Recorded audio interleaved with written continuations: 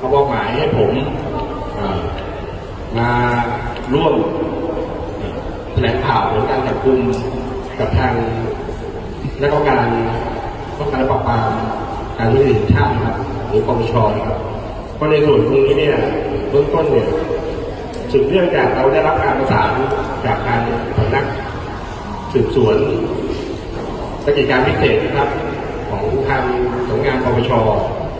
กี่ยวกับเรื่องของมีบุคคลไปแอบอ้างเป็นเจ้าที่รัฐคือปปชแล้วก็มีการไปเรียกรับผลประโยชน์อะไรต่างๆ ซึ่งทางเราก็สืบสวนติดตามจับกลุ่มทั้งหมดสองรายครับเป็นสามีนะครับ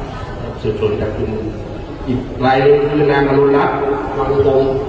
อันนี้ก็สองหมายจับครับ แล้วก็มีการจับกลุ่มได้ที่ จังหวัดนครราชสีมานครับก็ต้นต้นก็นำตัวส่งดำเนินคดี ส่วนรายละเอียดในการสืบสวน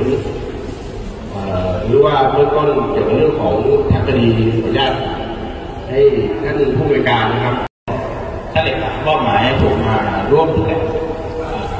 ข่าวการจับกลุ่มบุคคลที่แอบอ้างเป็นเจ้าหน้าที่ปปชนะครับก่อนที่จะให้รายละเอียดผมขอขอบคุณทาง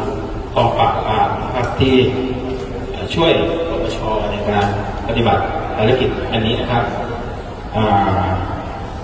เรื่องของคุณแก้วประสมผลและภรรยาที่ถูกจับกลุ่มเนี่ยจุดเริ่มต้นมันเริ่มจากว่าปปชเองได้รับการร้องเรียนจาก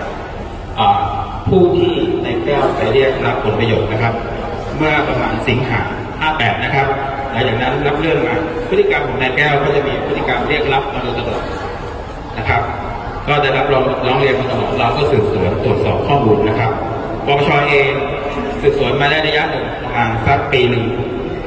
เราสามารถจับกลุ่มได้เมื่อปีปลายปี 59 นะครับ